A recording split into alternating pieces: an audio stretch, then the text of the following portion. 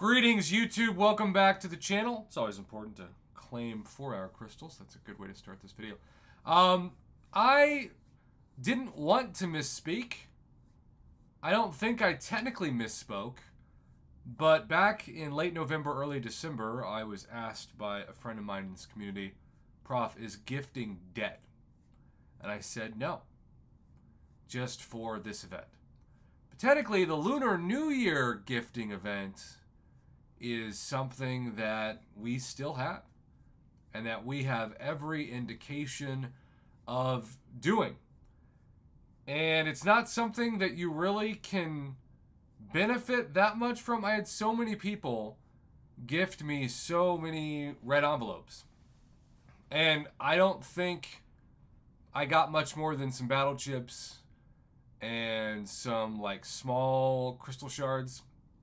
Mainly like four star crystal shards, I think. It was very kind for people to do that, often without me even expecting it. It just would show up. But it was an event that was kind of cool not game changing at all. And honestly, compared to so many other things in this game, I kind of forgot about it.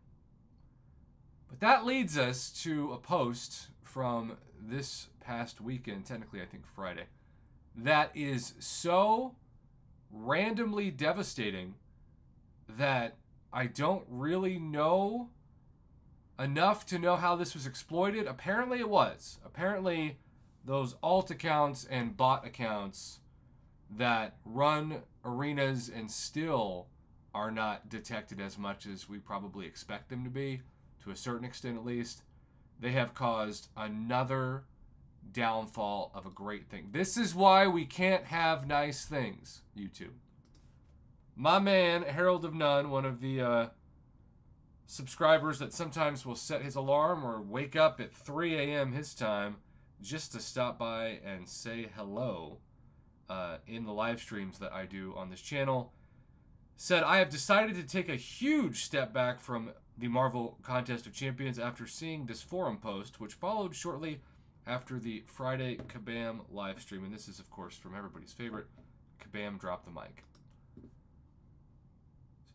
Clip says, no gifting for lunar event like normal. And again, maybe I'm just not doing this event right slash wrong enough, but I've never thought about this from a exploitation perspective. And yet, he said, no, we've had to give the final boot, or we'd have to give that the final boot, I should say, due to exploitation and bot accounts. I don't think we'll see any form of gifting making a comeback at this point. This is why we can't have nice things. I don't I don't know. Maybe I'm just not smart enough. Wouldn't be the first time, won't be the last to understand why this was such a bad thing. Every alliance I've ever been in, every year I've ever done this, it's just something kind of fun that you do for fun without purchasing anything and without getting a huge jump in progression. You're not even getting I think like tier 2 alpha and tier 5 basic from these. Most of what's in these feels like it was straight out of the game in like 2016, which is somehow 8 years ago. But no, it's dead. It's done. And I, I think that sucks. Like, this really is unfortunate. I'm going to tell Herald of None the same thing I'm going to tell everybody else watching this. I don't think this event was worth it to quit over because I don't think it was really that great of an event to begin with. It was kind of cool for free. But because it wasn't that great to begin with, and because it was kind of cool for free, I am left confused at why bots exploited this to the point that no one could get a gifting badge. And it looks like bots and exploitation have killed the gifting badge for everybody. And I get that when it comes to gifting because that was like the Wild West for years and we saw Odins turn to Hodins. But this is not that. Kabam wasn't making any money off of this event. They were doing it as a favor to the community. And I'm sure we'll still have some version of it where they, they'll say, hey, Prof, we're still doing that. So don't misspeak. Don't overly criticize us.